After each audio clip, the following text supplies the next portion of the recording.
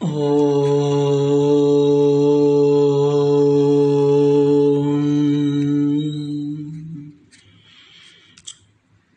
this 23rd Yoga Sutra of the Yoga Darshana Samadhi Pada is a very, very important sutra, quite well known. The sutra suggests, gives totally a separate individual practice itself for the Chitta Vritti Nirodha. And the sutra is, and along with the sutra, Patanjali introduces a new concept in the entire Yoga Darshana. And the sutra is Ishvara Pranidhanadva. Ishvara Pranidhanadva. Pranidhanadva. Va means or. Or refers here to whatever said before this sutra. All the intensities, all the qualities, all the requirements, the depths, the dimensions, and the directions, the requirements. What are all the things which was told now, expressed till now? Patanjali takes at one side and introduces Ishvara Pranidhanadva or or means again all of that those things are va means. Ishvara Pranidhanat. The word used here is Pranidhana. Pranidhana is total surrender.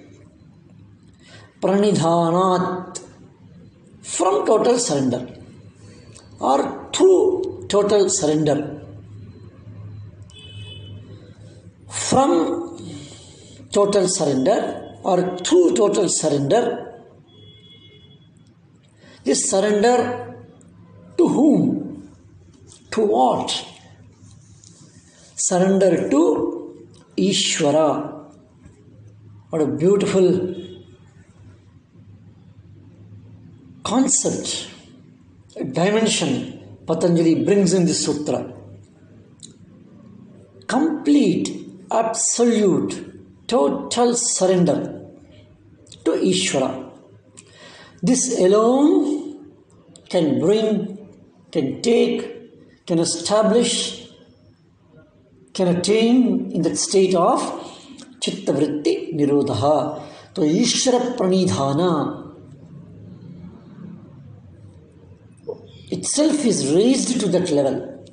Practice of surrender to Ishvara. Surrendering to Ishvara itself is the highest practice.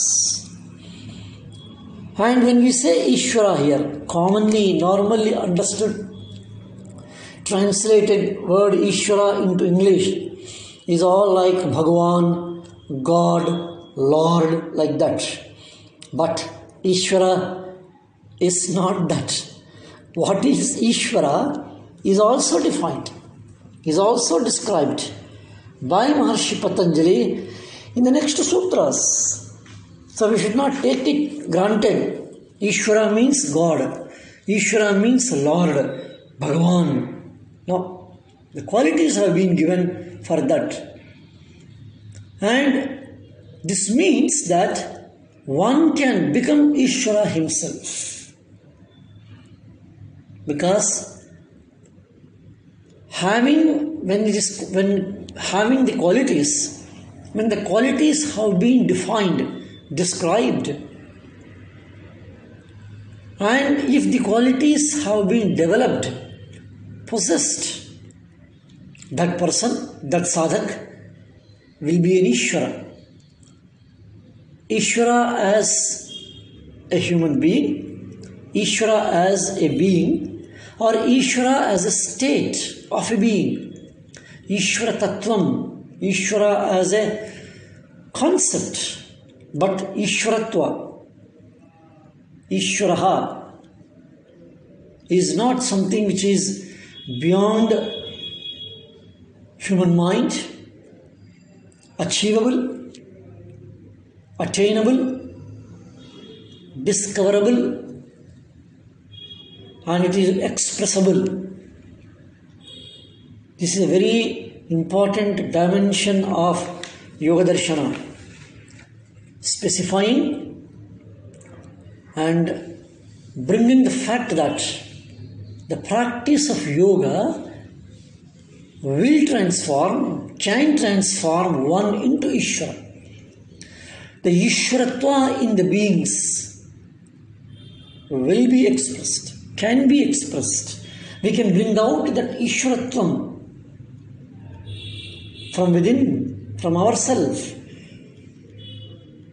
And Ishvara Pranidhana is an absolute surrender. Of course, practically to understand, comparatively, if you have to understand, we can say it is a total surrender, complete surrender to the God, understanding that Ishwaratvam Ishvara as a God or God as an Ishvara.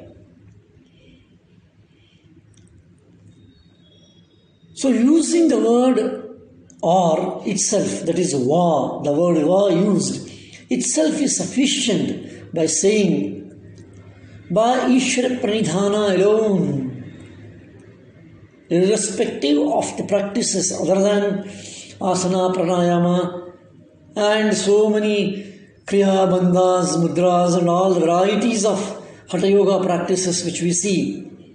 Patanjali says, Ishvara Pranidhana itself is sufficient for the Chitta Vritti Nirodha. Ishvara Pranidhana in Patanjali Yoga Sutra was used thrice. One, this is the now in this particular sutra, and second time it is used in the Ashtanga Yoga. When Patanjali describes the components of niyama, in that Shaucha Shantosha Tapaswadhyaya Ishvara Pranidhana.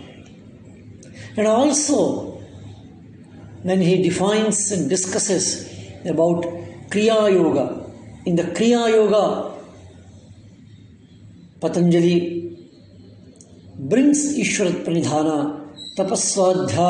Pranidhanani, Kriya Yoga. He calls it, he defines what is Kriya Yoga.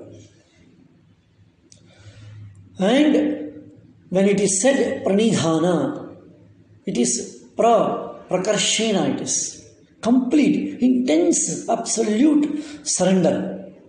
When it is said absolute surrender, there is not an iota, a drop of asmita an absolute egoless state. Commonly, all of us know it is the Bhakti Yoga. Even when the Bhakti Yoga is discussed by the many acharyas,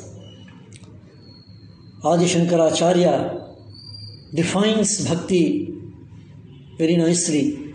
He says, Moksha sadhana samagriyam भक्तिरीव गरीयसी। स्वस्वरूप अनुसंधानम भक्तिरित्यभिधीयते। Of all the parts leading to moksha bhakti marga is the best and what is bhakti स्वस्वरूप अनुसंधान। Becoming one with oneself is nothing but the state of chitta vritti nirodha even without asmita level. The purushatvanas. So Ishvara Pranidhana is independent of the so many methods taught. And Chitta Vritti has to be accompanied by Ishvara Pranidhana. That is why people say, yogis and jnanis say, the importance of Ishvara Pranidhana. So it is repeated thrice in Patanjali Yoga Sutra. And this practice of Ishvara Pranidhana is the important dimension in the entire Yoga Darshana. And generally, people say that I practice asana, I practice pranayama, and keep on saying that what are all the things a person does it, but I don't believe in the God, I don't believe in the Ishvara. Such talks, Patanjali keeps it aside. Being yoga practitioners, being a yoga sadhaks, being yoga abhyasis, we should remember Ishwaratvam. Ishvara is an important component of the entire yoga practice and though Ishwaratva, Ishvara concept and the stage of the Ishvara is within us as an unfoldment and to be unfolded, to be experienced. But with all practical dimensions, Ishvara Pranidhana is a surrendering to the Lord and God with that dimension of Ishvara. It is pranidhana, it is called. Prani is a very important word. Somebody does a sashtanga namaskar. We say it is pranipata, it is called. So totally absolute surrender. So as a result of the special devotion, which is bhakti, love of the God, and Ishvara Pranidhana is included or put forward as a totally single, separate, alone path by Maharshi Patanjali. And keeping that important understanding of Ishvara in the yoga practices, further Maharshi Patanjali defines, describes what is Ishvara, what is the idea of Ishvara, who is an Ishvara. That definition follows in the next sutra number 24, which we shall see in our coming sessions. Om.